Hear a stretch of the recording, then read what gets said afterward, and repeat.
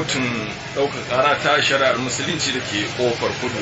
Yanzu kuma za mu koma ga wato ainihin lauyoyin shi lauyan wanda ake tuhuma barisa dalhatu shehu usman domin mu ji abin da ya wannan gabar ta fito tambayoyin da aka yi da amsa da aka ba da shi ya bayi zuwa ga neman a sallame shi.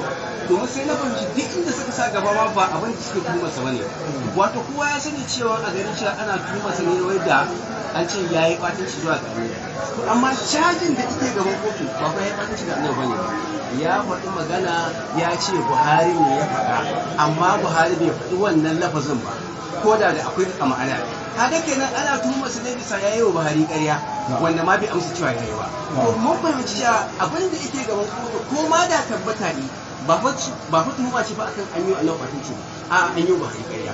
Sun ma soke ka akan wayar ga malam masallaci. Eh to ai su suke ganin kamar ga malam musulmi na kawo dokar da ta ce a kowane gaba in dai ba a yi hukunci ba za ka je rezin validity ko illegality na caji cewa ba daidai ba ne wajen haka asalin wanda suke abin kuma da nake cewa shine inda da asalin caji ma ga detective wanda ko da fa ta tabbata an tabbatar da laifin ma ba za ka yi hukunci a to me amfani da tsaye ana yin shari'a abin da muke cewa shine sashe 382 ba cikin makalar ino cewa i wanda ya batanci da annabi amma su kuma suna cajin su da wanda ya faɗi magana ba daidai ba akan imamu buhari.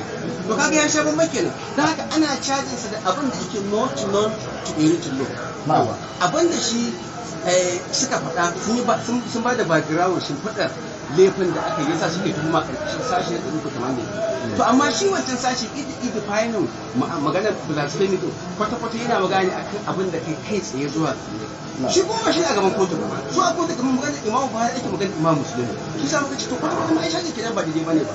Idan kuma suka ce a'a wai za su ɗauki ma'ana ne su yi kuskure ma duk da cewa ba annabi aka ce ba annabi aka ce yayi wa ya faɗa akan magana akan sa ba daidai ba. Suke ce su danganta shi da cewa a'a yayi fatanci ga annabi bisa ma'ana kenan.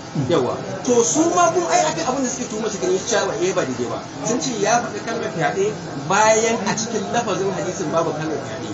Duk da akwai ma'ana ta fyaɗe. Suka ɗauko ma wata kalma da kansu ma suka suka yi amfani da ma'anar suka fita suka ce ka yi wa annabi kage da su ka ce imamu buhari ya ce wata mata ta ce tana da sha'awar annabi. Ya ce ki can wani lungu zan zo in biya miki buƙatar da haka to wannan buƙatar ai zana ke. A zahiri kuma in buƙata nake tsakanin ta namiji da mace a koye dama abin da zaka faɗa kenan wani to amma dai shi ma allafin na malam kun shi ma bai ce zina ba. Su suka ɗauko suka ba ta fassara matsayin zina kaga su ma sun yi amfani da ma'ana ba lafazi ba kuma kuma sun gina caji. Me dokar bacci ya bige da gingidi ke wallahi ina faɗa maka bisa abin da nake na fahimta nake ƙara fahimta wallahi wannan shari'a da ɗinta siyasa ce. In ma ƙara faɗa wani abu ka duba fa ka gani. Ni ba kaɗai nake zuwa sai sai mai taya mu muke zuwa shari'a amma kan lauyi aka ce sai sai guda goma sha tara. Ka san Allah billahi la ilaha illa huwa. Duk abin da yake gaban kotu wannan lami suran yake shi shi kaɗai ya fa gaban ya haka. Shi kaɗai zai yi amma saboda kawai a cikin gwamnati aka je aka ɗauko SASN da ba sa zuwa karamar kotu irin wannan aka ce wasu za su gabatar duk abin da suke yi din bai fa abin da wani lauya guda ɗaya a ministry of justice zai yi ba tare da ka bashi ko kowa dama ana biyan su wato siyasa sai akwai wallahi siyasa ce cikin wannan to amma ba rasa mutanen gari ba sa ce razana kuka da su ba shi sa kuke faɗa haka? To ba kuna gani abin da yake faruwa a kotun ai. Me suka tambaya mun kasa ba su amsa. Hasali ma cewa muka duk wannan abubuwan da suka faɗa mun faɗa. Amma fa ga hujjar mu.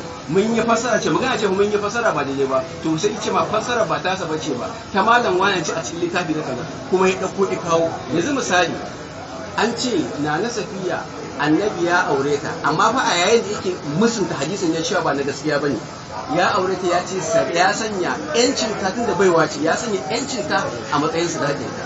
Sai aka samu wata riwaya yawa wadda take daga malik. Ake cewa ba a ba da sadaki da yanci.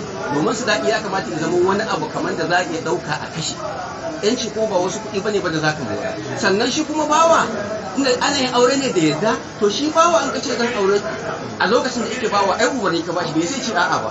Wuce ba ta yi masa kira kenan duk abin da ka faɗa zai zai cewa eh bai sai ce a'a ba. To kai kenan in ka fassara shi ka ɗauki ma'ana cewa kenan auren dole kenan ake. To ko da ba hakan ba ne ai sai dai a ce kayi fassara ba daidai bisa fahimtar ka ba daidai ba. To bare shi ne ya ce a'a ai wannan ma kalaman ma ba nasa ba ne ba na malam wani ne ma duku ne ya faɗa ga littafi ya ɗauko ya baki fasa ba da sa dan dawo kan shin yanzu ko akan ku me matsayar kuma akan wannan shari'a? Wallahi na na faɗa wannan shari'a wanda abin da suke nema ba zai tabbata ba.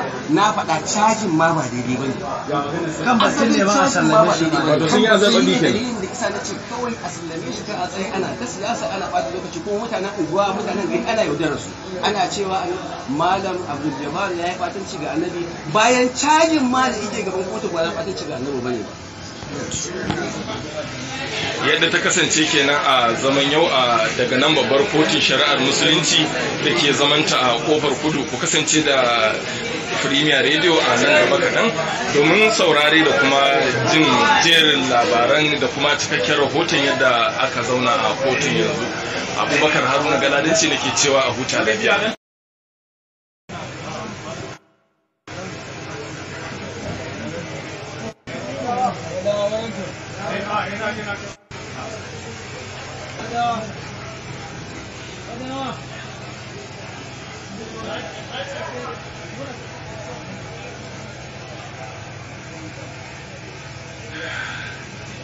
Tuni dai malamin aka sa shi a mota domin komawa gidan ajiya da gyaran hali na kurmawa.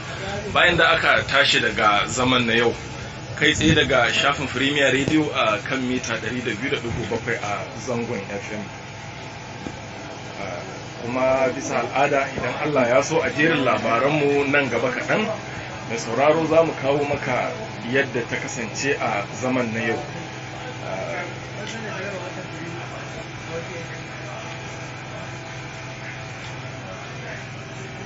Har yanzu dai gashi jami'an gidan ajiya da gyaran hali ana ta shirye-shirye ne na ganin an hada jami'an da kuma wato shi wanda ake tuhuma malam jabar nasiru kabara.